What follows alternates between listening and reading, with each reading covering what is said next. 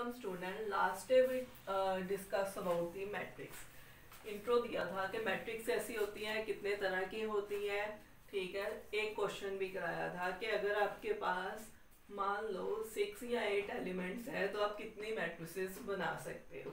और मैंने कहा था, आपने खुद भी ट्राई करना है। जैसे हम लास्ट डे बात किया था कि अगर आपके पास ट्वेंटी एट एलिमेंट्स है तो आप कितनी मैट्रिसेस बना सकते हो? ठीक है? तो मैंने एक चीज़ आपको बताई थी कि नंबर ऑफ़ क्योंकि ऐसे क्वेश्चन ऑब्जेक्टिव में ही आएँगे। वन मार्क के ही आएँगे आपके एग्ज़ाम में। तो मैंने आपको एक चीज़ बताई थी कि number of matrices is always equal to number of factors अगर तो छोटा एलिमेंट है तो जैसे आप छोटी क्लासेस में फैक्टर्स बनाते थे तो आप बना सकते हो। हमें पता है कि इसके क्या क्या फैक्टर्स बनेंगे तो हम बना सकते हैं आपके पास। जैसे 28 का एक फैक्टर वन आएगा एक टू आएगा और एक फोर आएगा एक सेवन आएगा और फोर्टीन आएगा और ट्वेंटी एट आप आएगा। सो so, हम कितनी मैट्रिसेस बना सकते हैं इसमें? आपकी one two three four five six matrices तो हमने बड़ा इजीली निकाल लिया। फॉर एग्ज़ाम्पल अगर ये आईआईटी में आता है तो हो सकता है बड़ा नंबर भी आ जाए। तो अगर बड़ा नंबर आ जाए तो हमें फैक्टर्स कैसे बनाने हैं? तो मैंने कहा था कल इसका एक शॉर्टकट भी बताएँगे।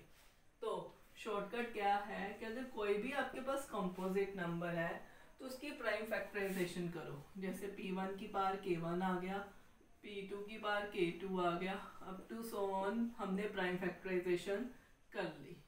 तो नंबर ऑफ़ फैक्टर्स रूल होता है, हमेशा किसके इक्वल होते हैं? K one plus one K two plus one up to so on K N plus one करके उन सबको मल्टीप्लाई कर देंगे तो इतने ही उसके फैक्टर्स बनेंगे। ये बहुत इम्पोर्टेंट पॉइंट है as a competition point of view से। नंबर ऑफ़ फैक्टर्स भी पूछा जा सकता है आपको कंपटीशन में आपको।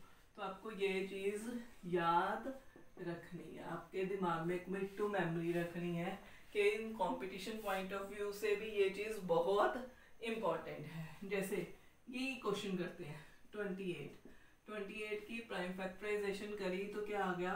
टू की power two into seven days to power one so number of factors कितने आएँगे? रूल के मुताबिक आपके पास two plus one into one plus one two plus one is three three two ज़ा सिक्स हमने पहले भी यही बात करी कि आप कितनी मैट्रिसेस बना सकते हो?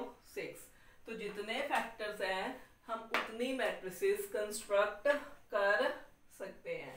सो so, ये चीज़ को आपको याद रखना है कि आपने बनानी कैसी है। अगर कोई बड़ा नंबर आ गया तो आपको मैंने इजीएस्ट वे बता दिया कि P1 की पार K1 उसकी प्राइम फैक्टराइजेशन करी, जो पावर आ रही है प्राइम जैसे इसकी पावर टू थी और इसकी पावर वन तो पावर प्लस वन और इसमें पावर सब जितनी भी आ रही है सबको मल्टीप्लाई कर देंगे तो उतने फैक्टर्स आएँगे और जितने फैक्टर्स आएँगे, उतनी ही मैट्रिसेस आएँगी। अब आप सारे क्वेश्चन इसके बड़े इजीली कर सकते हो। इवन परमोटेशन में भी क्वेश्चन ये आता है कंपटीशन में, कि कितने फैक्टर्स आप बना सकते हो। तो आप इसी पे से फैक्टर्स बना लोगे। इज़ दैट क्लियर नाउ ऐसा भी एक वन मार्क का क्वेश्चन आ सकता है। If we have elements 1 and minus 1 and we want to construct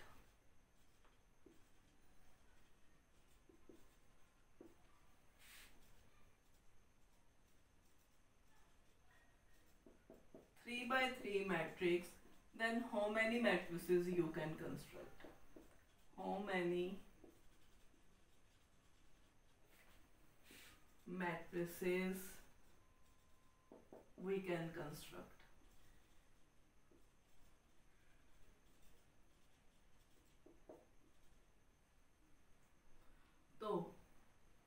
आपके पास एलिमेंट्स दो है, हमने मैट्रिसेस कौन सी बनानी है? Three by three three by three का मतलब मैं एक, दो, तीन तीन रोज होंगे और तीन कॉलम्स होंगे। मतलब हम कितने एलिमेंट प्लेस कर सकते हैं? नाइन एलिमेंट और मुझे एलिमेंट्स कौन से यूज़ करने हैं? या तो वन यूज़ करना है या माइनस वन यूज़ करना है। तो पहले एलिमेंट्स के बाद भी दो ऑप्शन है, दूसरे के पास भी दो ऑप्शन है, तीसरे के पास भी दो up to so on two कितनी टाइम्स आएगा? So we can construct two raise to power nine means five one two matrices so we can ये भी क्वेश्चन बहुत इंपॉर्टेंट है. बोर्ड पॉइंट ऑफ़ व्यू से भी कंपटीशन पॉइंट ऑफ़ व्यू से भी ज़्यादा बोर्ड क्योंकि बोर्ड पॉइंट में वन मार्क में अक्सर आता है, आपको पास ऐसे नीचे ऑप्शन दी होंगी five one two two five पे कितनी बना सकते हो? इसकी जगह तीन एलिमेंट भी हो सकते हैं. अगर थ्री होगा तो three raise to power nine होगा. ऐसा भी क्वेश्चन आ सकता है कि we have by using one zero minus one how many? 2 by 2 matrices.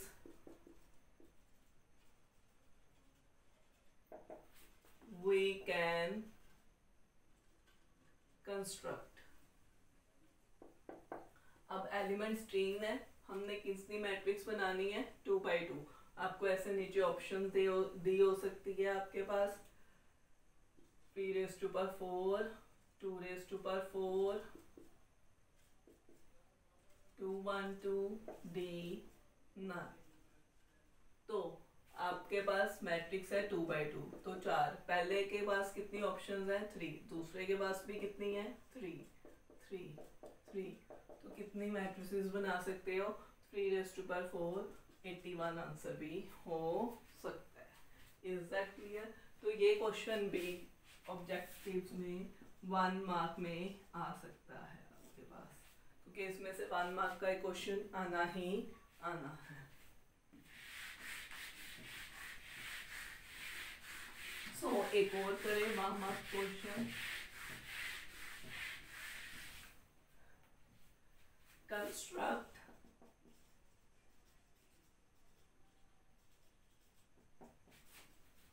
the matrix of order 2 by 3 under the formula. Aij is equal to 2i plus 3j कितनी क्या order की मैट्रिक्स बनानी है? Two by three two by three का मतलब two rows three column हमें क्या चाहिए? A one one A one two A one three A two one A two two A two three so A one one का means I be one J be one तो इसमें substitute करेंगे two into one three into one तो क्या आ जाएगा? Five A one two means I one J two two plus six क्या आ गया?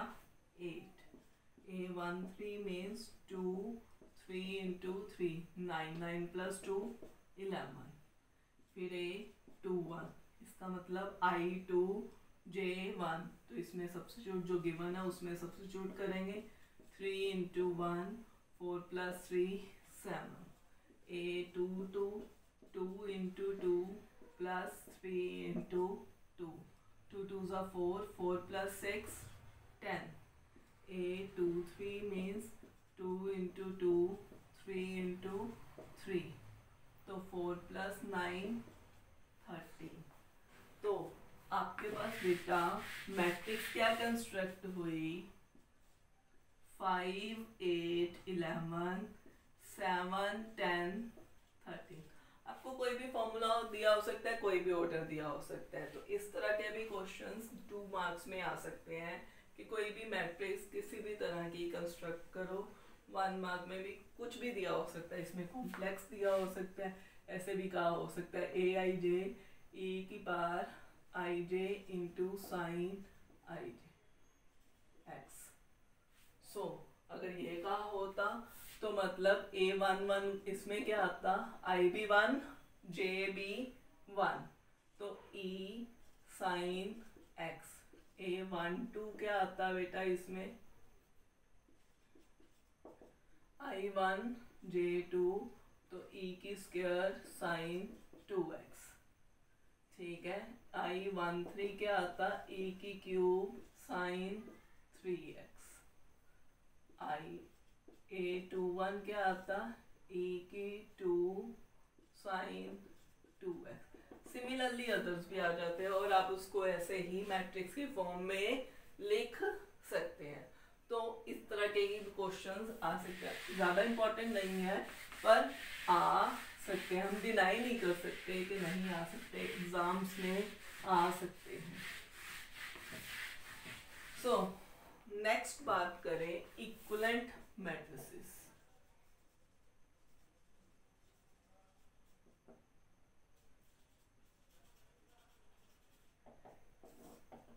the two matrices A and B said to be equivalent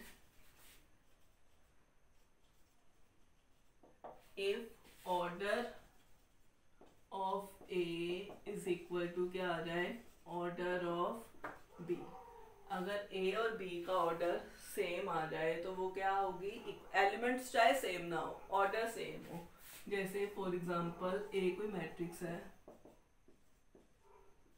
इसका ऑर्डर है टू बाई थ्री बी कोई और मैट्रिक्स ले लेते हैं. ऑर्डर कोई ऑर्डर सेम है, पर एलिमेंट्स बिल्कुल भी सेम नहीं है. So A is equivalent to B ये साइन है इक्वलेंट का. सो इक्वलेंट मैट्रिक्स क्या होगी अगर उनके ऑर्डर क्या होंगे? सेम होंगे. एलिमेंट्स की हम बात नहीं कर रहे हैं.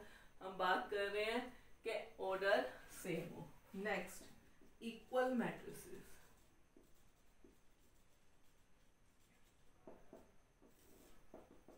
equal matrices क्या होती हैं the two matrices A is equal to B और दो ही होंगी, तभी हम कंपेयर करेंगे। कंपेरेबल मैट्रिक्स भी कह सकते हैं। पहली बात A is equal to B मतलब ऑर्डर ऑफ़ ए किसके इक्वल आए? ऑर्डर ऑफ़ बी के। पहली बात। दूसरी बात corresponding element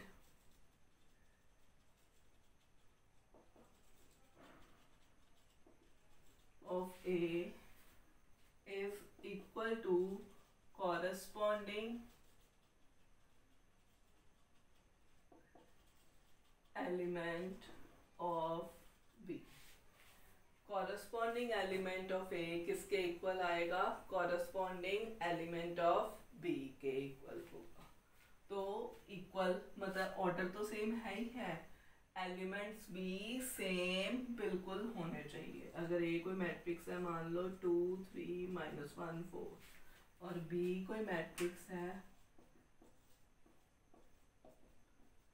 इसका भी order two by two order भी two by two A one one B one one के इक्वल है। A one two B one two के इक्वल है। A two one B two one के इक्वल है। A two two B two two के equal है। Corresponding position के elements भी सेम है और ऑर्डर भी सेम है। So A is equal to B equal तभी होगा जब उनके ऑर्डर भी सेम होगा और एलिमेंट्स भी सेम होने चाहिए। इसके साथ एक दो रिलेटेड क्वेश्चंस करते हैं। आ सकते हैं आपके पास। एग्ज़ाम में A minus B three a plus b 4 is equal to 5 3 7 4 find a and b. तो स्टूडेंट ध्यान से देखो कि उसने गिवन दिया हुआ है कि ये मैट्रिक्स इसके इक्वल है। अगर ये मैट्रिक्स इसके इक्वल है तो पहला एलिमेंट पहले के इक्वल होना चाहिए, दूसरा दूसरे के ये इसके और ये इसके। तो मतलब a माइनस बी किसके इक्वल आएगा? फाइव के इक्वल और a प्लस बी किसके इक्वल आ जाएगा? सेवन के इक्वल अब आपके पास ये दो इक्वेशंस आ गई, जैसे आप छोटी क्लासेस में करते थे, इसको साइमल्टेनियसली सॉल्व कर लेते हैं। तो हमने ऐड करा टू ए आ गया ट्वेल्व ए की वैल्यू क्या आ गई आपके पास? सिक्स अब ए की वैल्यू सिक्स इसमें पुट करें। तो b की वैल्यू क्या आ जाएगी? सेवन माइनस एक्स यानी के वन सो हमने ए और बी की वैल्यू ढूंढ ली. फिर देखें इक्वलेंट मैट्रिसेस क्या होती है? अगर सिर्फ़ ऑर्डर सेम हो, और इक्वल मैट्रिसेस क्या होगी? ऑर्डर भी सेम हो, और एलिमेंट्स भी सेम हो. तो मैट्रिक्स क्या होंगी आपके पास? इक्वल हो जाएगी. एक दो और क्वेश्चंस करते हैं। X two Y plus X z plus X four plus T is equal to three seven eight nine find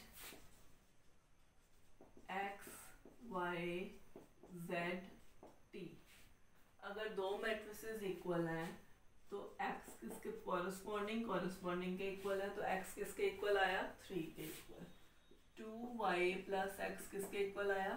seven के इक्वल तो यहाँ सेवन एक्स की वैल्यू पुट करें तो यहाँ से y निकल आएगा।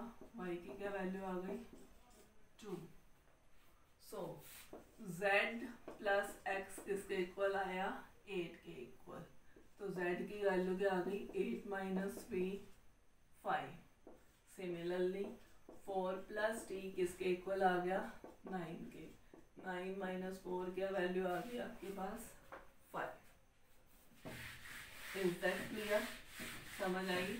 कि अगर दो मैट्रिसेस इक्वल हैं तो कॉरस्पॉन्डिंग एलिमेंट कॉरस्पॉन्डिंग के इक्वल होना चाहिए। आपके पास फिर ही इक्वल होंगी वरना इक्वल नहीं हो सकती एक आध और क्वेश्चन करके देखते हैं A plus four three B eight minus six is equal to two A plus two B square plus two eight B square minus five 5b.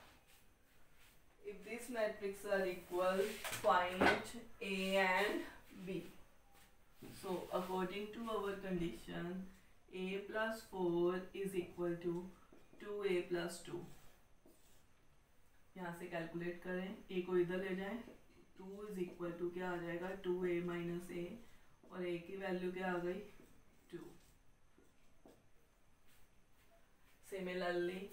Similarly, 3b is equal to b square plus 2. So b square minus 3b plus 2 equal to 0. ये quadratic आ गई। इसके factors बना लेते हैं। जैसे छोटी classes में बनाते थे by splitting middle term b minus one तो b की क्या वैल्यू आई? एक टू और एक वन एट एट के इक्वल है। पर b इसमें भी है। तो अभी मतलब इसको भी लेना पड़ेगा। अगर b की दो वैल्यू यहाँ से आ रही हैं, दो यहाँ से आ रही हैं तो हम सारी नहीं लेंगे। हम वही वैल्यू कंसीडर करेंगे जो दोनों में कॉमन आएँगी, क्योंकि इक्वल तभी हो सकता है, वरना हो नहीं सकता। So B square minus five B B square minus five B plus six is equal to zero बनाओ इसके फैक्टर्स तो क्या बनेंगे? B minus two B minus three तो इसमें भी b की दो वैल्यू आई टू और थ्री पर इसमें टू और वन आ रही है और इसमें टू और थ्री आ रही है. कॉमन वैल्यू बीच में से कौन सी आ रही है? ये वाली. टू टू इसमें भी है तो टू इसमें भी है. सो so, फिर b की वैल्यू क्या आ जाएगी? Two for b is equal to two और a भी two by chance the matrices are equal one के लिए इक्वल नहीं हो सकता थ्री के लिए इक्वल क्योंकि अगर इसमें वन लेंगे तो इसकी वैल्यू थ्री आई तो इसकी वैल्यू भी थ्री आई लेकिन इसमें माइनस सिक्स है और इसमें माइनस सिक्स नहीं आएगा. सो so, इक्वल किसके लिए होगा? जो दोनों में कॉमन होगा. और मान लो कि अगर b की वैल्यू यहाँ टू और टू कॉमन नहीं आता यहाँ भी कुछ और आती यहाँ भी कुछ और आती तो कॉमन नहीं आता तो ये कंपल्सरी था कि ये मैट्रिसेस इक्वल कभी नहीं हो सकती। दीज हैविंग नो सोल्यूशन इनका कोई भी सोल्यूशन नहीं होता कि अगर वो इक्वल होती। तो इक्वालिटी के लिए ये बहुत ज़रूरी है कि उनमें आपस में रिलेशन है। वो कोई ना कोई वैल्यू कॉमन आए आपके। अगर कॉमन नहीं आएगी तो मैट्रिसेस इक्वल नहीं हो सकती आपके पास। इज़ दैट क्लियर सो आप इस तरह से अपनी अपनी बुक्स में से क्वेश्चन कर सकते हैं। हम नेक्स्ट टॉपिक में डिस्कस करेंगे addition and subtraction of the matrices further आप वीडियो देखने के लिए मेरे इस चैनल को सब्सक्राइब कर लें ताकि जब भी मैं कोई चैप्टर कराऊं तो आपको नोटिफिकेशन साथ ही आ जाए।